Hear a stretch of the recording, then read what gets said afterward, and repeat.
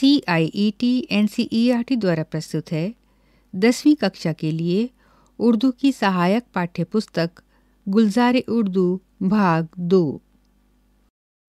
पेश है दसवीं जमात के लिए उर्दू की मुआविन दरसी किताब गुलजार उर्दू। अब प्रस्तुत है गुलजार उर्दू भाग दो का पांचवा पाठ। देवेंद्र सत्यार्थी सफ़ा नंबर सैंतीस। तारुफ अफसाना निगार। देवेंद्र सत्यार्थी। पैदाइश 1908 इंतकाल 2003 देवेंद्र सत्यार्थी, पंजाब के ज़िला संगरूर में पैदा हुए। सन 1925 में मैट्रिक का इम्तिहान पास किया और डीएवी कॉलेज लाहौर में दाखला लिया। सन 1927 में तालीम अधूरी छोड़ दी। और हिंदुस्तान के मुख्तलिफ़ इलाक़ों में जगह जगह घूमकर उन्होंने हज़ारों लोकगीत जमा किए। कुछ अरसे तक दहली में इंडियन फ़ार्मिंग की इदारत की। सन 1948 से 1956 तक आजकल हिंदी के मुदीर रहे। सन 1976 में उन्हें पद्मश्री के एजाज से नवाजा गया। उनका इंतकाल दहली में हुआ। देवेंद्र सत्यार्थी की पहली उर्दू कहानी और बांसुरी बजती रही लाहौर के मशहूर रिसाले अदबे लतीफ़ में शाये हुई। नए देवता और बांसुरी बजती रही और चाय का रंग उनके उर्दू अफसानों के मजमुए हैं।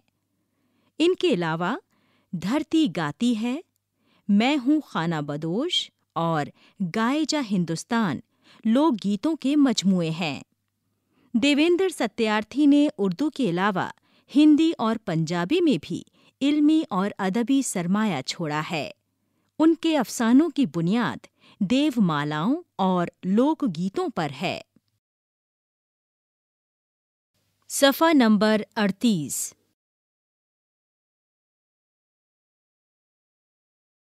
अफसाना अन्न देवता। अफसाना निगार। देवेंद्र सत्यार्थी।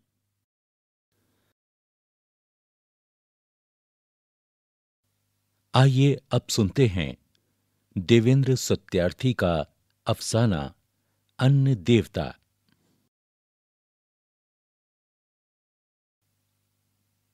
तब अन्य देव ब्रह्मा के पास रहता था। एक दिन ब्रह्मा ने कहा, ओ भले देवता, धरती पर क्यों नहीं चला जाता? इन अल्फाज के साथ चिंतु ने अपनी दिल पसंद कहानी शुरू की। गोंडों को ऐसी बीसियों कहानियाँ याद हैं। वो जंगल के आदमी हैं और ठीक जंगल के दरख्तों की तरह उनकी जड़ें धरती में गहरी चली गई हैं। मगर वो गरीब हैं, भूख के पैदाइशी आदि। चिंतू को देखकर मुझे ये गुमान हुआ कि वो भी एक देवता है, जो धरती के बासियों को अन्य देव की कहानी सुनाने के लिए आ निकला है। गहरी तारीकी छाई हुई थी। अलाव की रोशनी में बगल की पगडंडी किसी जवान की मांग मालूम होती थी। घूम फिरकर मेरी निगाह चिंतू के झुर्रियों वाले चेहरे पर जम जाती। कहानी जारी रही। देवता धरती पर खड़ा था, पर वो बहुत ऊँचा था। बारह आदमी एक दूसरे के कंधों पर खड़े होते तब जाकर वो उसके सर को छू सकते। एक दिन ब्रह्मा ने संदेश भेजा। ये तो बहुत कठिन है। अरे भले देवता, तुझे छोटा होना होगा। आदमी का आराम तो देखना होगा। देवता आधा रह गया। पर ब्रह्मा की तसल्ली ना हुई। आदमी की मुश्किल अब भी पूरी तरह हल ना हुई थी। उसने फिर संदेश भेजा और देवता एक चौथाई रह गया। अब सिर्फ़ तीन आदमी एक दूसरे के कंधों पर खड़े होकर उसके सर को छू सकते थे।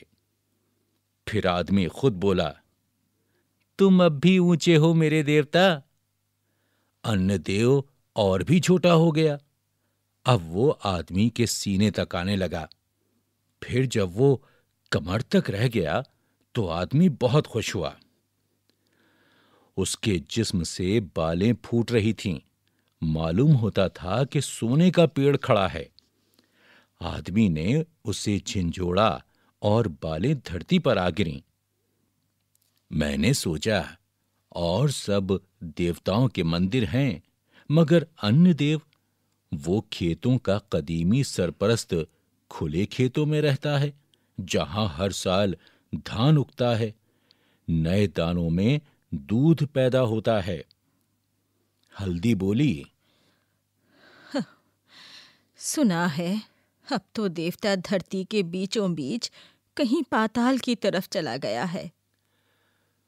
चिंतू ने फटी फटी आँखों से अपनी बीवी की तरफ़ देखा। ऐसा भयानक काल उसने अपनी ज़िंदगी में पहली बार देखा था। धरती बंजर हो गई थी। साल के साल हल्दी अन्य देव की मन्नत मानती थी। एक हल्दी पर ही बस नहीं, हर एक गौंड औरत ये मन्नत मानना ज़रूरी समझती है। मगर इस साल देवता ने एक ना सुनी। किस बात ने देवता को नाराज़ कर दिया? गुस्सा तो और देवताओं को भी आता है, मगर अन्य देव को तो गुस्सा नहीं करना चाहिए।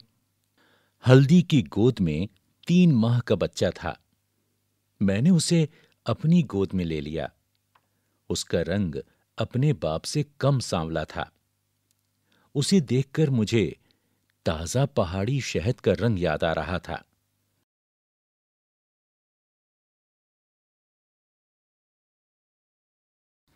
सफ़ा नंबर उनतालीस।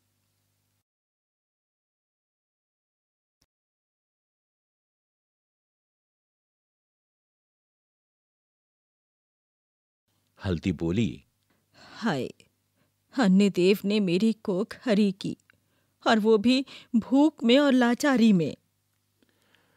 बच्चा मुस्कुराता तो हल्दी को ये ख्याल आता कि देवता उसकी आँखों में अपनी मुस्कुराहट डाल रहा है। पर इसका मतलब देवता मज़ाक तो नहीं करता। फिर उसके दिल में गुस्सा भड़क उठता। हाय अन्य देव ने मेरी कोख हरी की और वो भी भूख में और लाचारी में। क्या करें? बच्चा मुस्कुराता। तो हल्दी को यह ख्याल आता कि देवता उसकी आँखों में अपनी मुस्कुराहट डाल रहा है।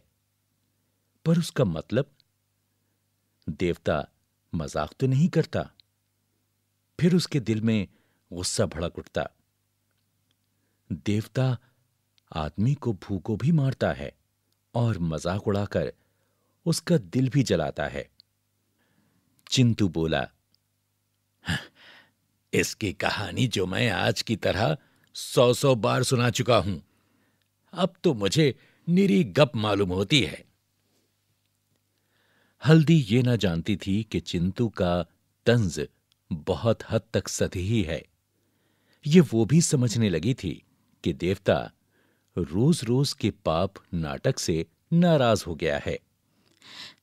अजी अन्य देव को नहीं मानते पर भगवान को तो मानोगे?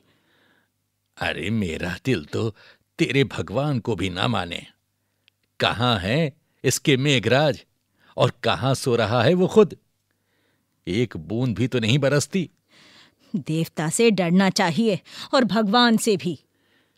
चिंतू ने संभल कर जवाब दिया हाँ हाँ ज़रूर डरना चाहिए और अब तक हम डरते ही रहे हैं। हम्म अब आए ना सीधे रास्ते पर। जब मैं छोटी थी तो माँ ने कहा था देवता के गुस्से से सदा बचो। अरे कहा तो मेरी माँ ने भी कुछ ऐसा ही था पर कब तक लगा रहेगा ये डर? बोल हल्दी। देवता फिर खुश होगा और फिर लहराएगा, वही प्यारा प्यारा धान। काल में पैदा हुए बच्चे की तरफ़ देखते हुए मैं सोचने लगा, इतना बड़ा पाप क्या होगा कि इतना बड़ा देवता भी आदमी को माफ़ नहीं कर सकता? काल ने हल्दी की सारी सुंदरता छीन ली थी। चिंतु भी अब अपनी बहार को भूल रहा था। दरख्त अब भी खड़ा था, मगर टहनियाँ पुरानी हो गई थीं और नई कोपलें नज़र नहीं आती थीं।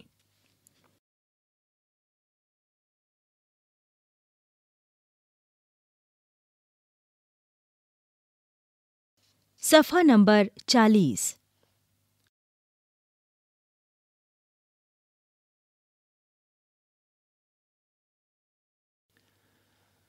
हल्दी का बच्चा मेरी गोद में रोने लगा। उसे लेते हुए उसने सहमी हुई निगाह से अपने खाविंद की तरफ़ देखा। बोली ये काल कब जाएगा? जब हम मर जाएँगे और ना जाने ये तब भी ना जाए। ये कनकी और कूदू धान की तरह पानी नहीं मांगते।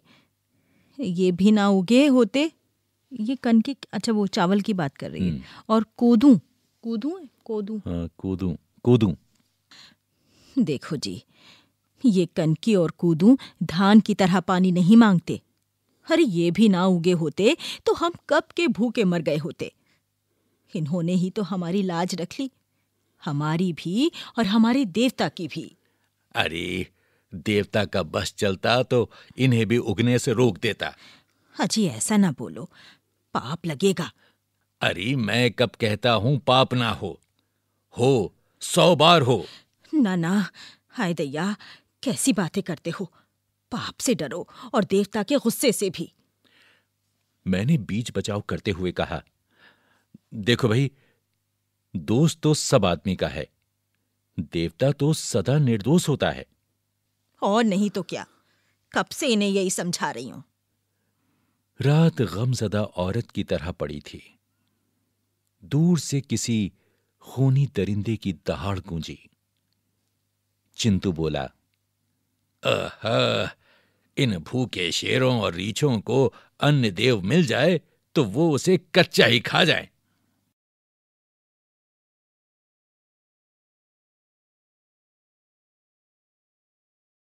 सफ़ा नंबर इकतालीस। बिसाखू के घर रुपए आए तो हल्दी उसे बधाई देने आई। हजी बधाई हो। बिपता में पच्चीस भी पाँच सौ होवे हैं। रामू सदा सुखी रहे। अन्य देव से तो रामू ही अच्छा निकला। चिंतू बोला अरे यार छोड़ इस अन्य देव की बात। हल्दी ने अपने खाविंद को सर से पाँव तक देखा। इस तंज से उसे चिढ़ थी। देखो जी देवता कितना भी बुरा क्यों ना हो जाए। आदमी को तो अपना दिल ठीक रखना चाहिए अपने बोल बचन संभालने चाहिए। गुस्से में जली भुनी हल्दी अपनी झोपड़ी की तरफ़ चल दी। बैठे रहो यहीं। बैसाखू ने फिर कह कहा लगाया। वाह भाई, वाह। अब भी अन्नदेव का पीछा नहीं छोड़ती। चिंतू बोला, अरे, जपने दो से अन्नदेव की माला। रामू बंबई में था। चिंतु सोचने लगा, काश उसका भी भाई वहाँ होता और पच्चीस रुपए नहीं तो पाँच ही भेज देता। बिसाखू ने पोस्टमैन को एक दुअन्नी दे दी थी, मगर उसे इस बात का अफसोस ही रहा। बार बार वो अपनी नकदी गिनता और हर बार देखता कि उसके पास चौबीस रुपए चौदह आने हैं, पच्चीस रुपए नहीं। झोपड़ी में वापस आया तो चिंतू ने हल्दी को बेहोश पाया। उसने उसे झिंझोड़ा, अरे हल्दी? ये देखो, सोई पड़ी है। अरे, हल्दी? ए, हल्दी! अरे अरे, रसोई की भी कोई फ़िक्र है या नहीं? अरे, अब सो नहीं। हल्दी? उठना। अरे, देख, दोपहर तो ढल गई। अब, ओह ओह। उस वक्त अगर खुद अन्नदेव भी उसे झंझोड़ते तो होश आने के लिए उसे कुछ देर ज़रूर लगती। थोड़ी देर बाद हल्दी ने अपने सिरहाने बैठे खाविंद की तरफ़ घूर कर देखा। चिंतू बोला अरे आग जलाओ हल्दी आग जलाओ। अरे देखती नहीं हो भूख से जान निकली जा रही है। क्या पकाऊं? अपना सिर? चिंतू ने डरते डरते सात आने हल्दी की हथेली पर रख दिए। और उसके चेहरे की तरफ़ देखकर बोला ये बैसाखू ने दिए हैं हल्दी और मैं सच कहता हूँ मैंने उससे मांगे नहीं थे। अच्छा? हल्दी शक भरी निगाहों से चिंतू की तरफ़ देखने लगी। क्या आदमी गरीबी में इतना गिर जाता है? मगर चिंतू के चेहरे से साफ़ पता चलता था कि उसने मांगने की जलील हरकत नहीं की थी। और फिर जब एक एक करके सब के सब पैसे गिने तो उसकी आँखें डबडबा आईं। चार रोज दाल भात का खर्च और चल जाएगा। हम्म।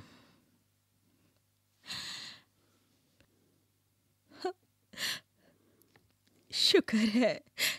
अन्य देव का लाख लाख शुक्र है। हम्म, अन्य देव का या बैसाखू का अजी अन्य देव का जिसने बैसाखू भाई के दिल में ये प्रेम भाव पैदा किया हाँ। चिंतू का चेहरा देखकर हल्दी को सूखे पत्ते का ध्यान आया जो टहनी से लगा रहना चाहता हो। दूर एक बदली की तरफ़ देखती हुई बोली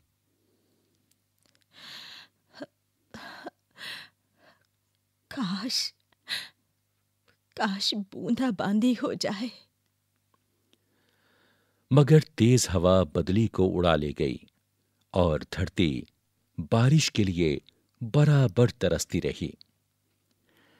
काल ने ज़िंदगी का सब लुत्फ बर्बाद कर दिया था। मालूम होता था जैसे धरती रो देगी। मगर आंसुओं से तो सूखे धानों को पानी नहीं मिलता? अन्न देव को यह शरारत कैसे सूझी? मान लिया कि वो खुद किसी वजह से किसानों पर नाराज़ हो गया है। मगर बादलों का तो किसानों ने कुछ नहीं बिगाड़ा था। वो क्यों नहीं घिराते? क्यों नहीं बरसते? काश वो देवता की तरफदारी करने से इनकार करते। हैं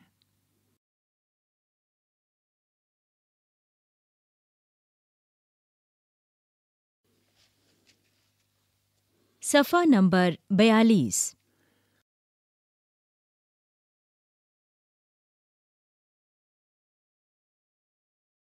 चार एक छोटा सा गाँव है।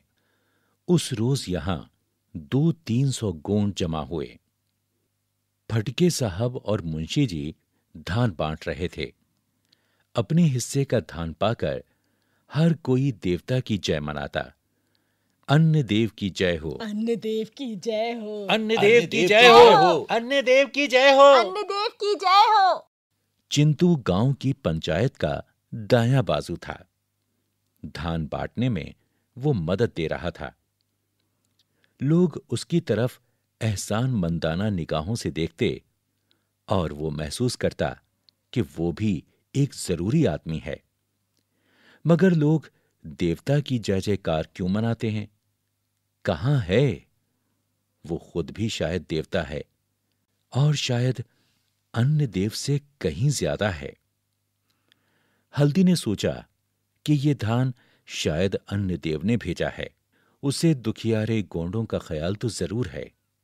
मगर जब उसने फटके साहब और मुंशी जी को हलवा उड़ाते देखा तो वो किसी गहरी सोच में डूब गई। पहले तो उसके जी में आई कि हलवे का ख्याल अब आगे ना बढ़े। पर यह ख्याल बादल की तरह उसके जहन पर फैलता चला गया। लेकिन कहत सभा से मिला हुआ धान कितने दिन चलता? चिंतू के चेहरे पर मौत की धुंधली परछाइयाँ नज़र आती थीं। मगर वो देवता से न डरता था। कभी कभी घुटनों के बल बैठा घंटों गैर शौरी तौर पर गालियाँ दिया करता। मैंने समझा कि वो पागल हो चला है। दो चार बार मैंने उसे रोका भी मगर ये मेरे बस की बात ना थी। वो देवता को अपने दिल से निकाल देना चाहता था मगर देवता की जड़ें उसके जज्बों में गहरी चली गई थीं। एक दिन चिंतू बहुत सवेरे उठ बैठा और बोला हाँ, देवता अब धनवानों का हो गया है। पापी देवता। अरे मैं तो ना मानूं ऐसे देवता को। पर नहीं मेरा देवता तो सबका है। अरे सबका है। अरे पगली ये सब ज्ञान झूठा है तेरा। पर देवता तो झूठा नहीं है। अरे तो क्या वो बहुत सच्चा है?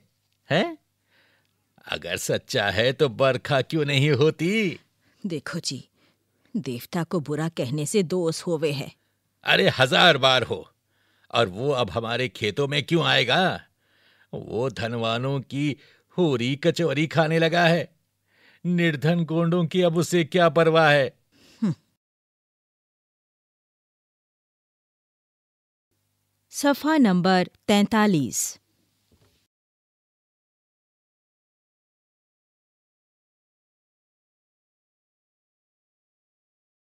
चिंतु की नुक्ता चीनी हल्दी के मन में गम खोल रही थी।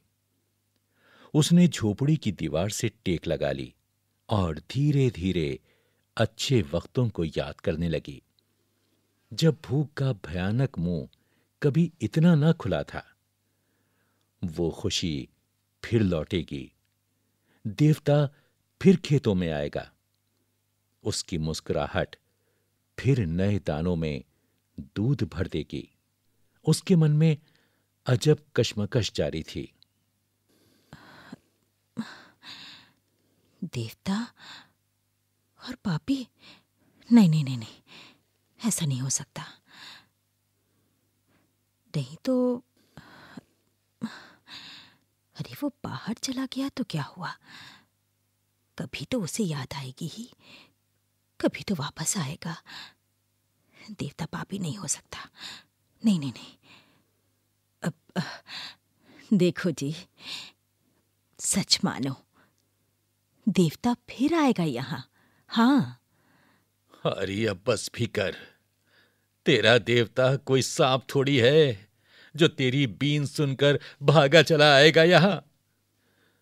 उस दिन रामू बंबई से लौट आया। उसे देखकर हल्दी की आँखों को एक नई जबान मिल गई। वो बोली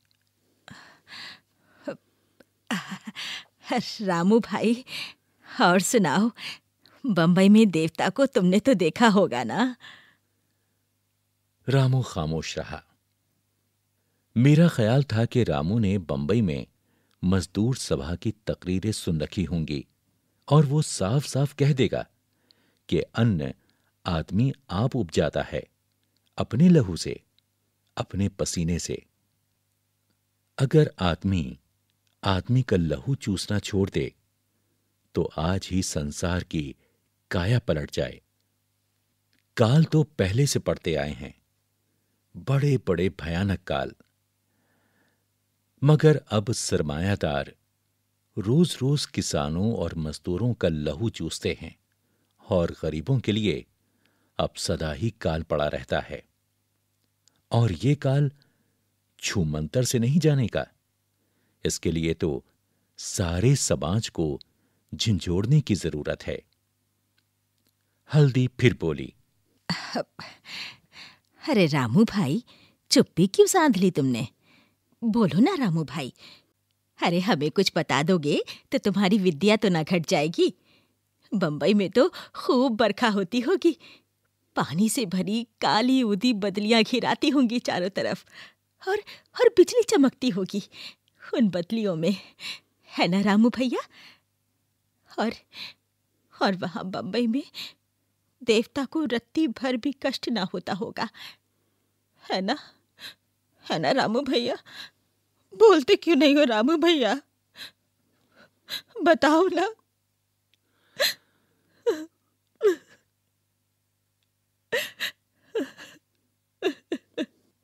रामू के चेहरे पर मुस्कुराहट पैदा होने के फ़ौरन बाद किसी कदर संजीदगी में बदल गई। वो बोला हाँ हल्दी। अन्नदेव अब बंबई के महलों में रहता है रुपयों में खेलता है बंबई में। हाँ? हल्दी कुछ न बोली। शायद वो उनके मुतालिक सोचने लगी। जब रेल इधर आ निकली थी और अन्नदेव पहली गाड़ी से बंबई चला गया था। आँसू की एक बूंद जो हल्दी की आँख में अटकी हुई थी उसके गाल पर टपक पड़ी।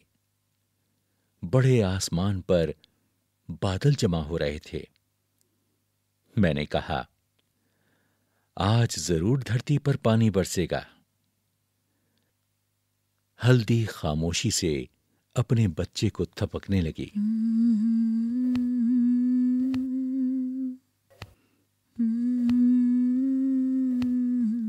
शायद वो सोच रही थी।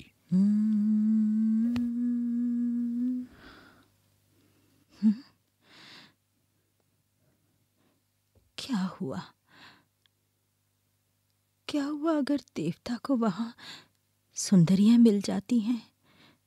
कभी तो उसे घर की याद सताएगी ही। और फिर वो आप ही आप इधर चलाएगा। हाँ चलाएगा।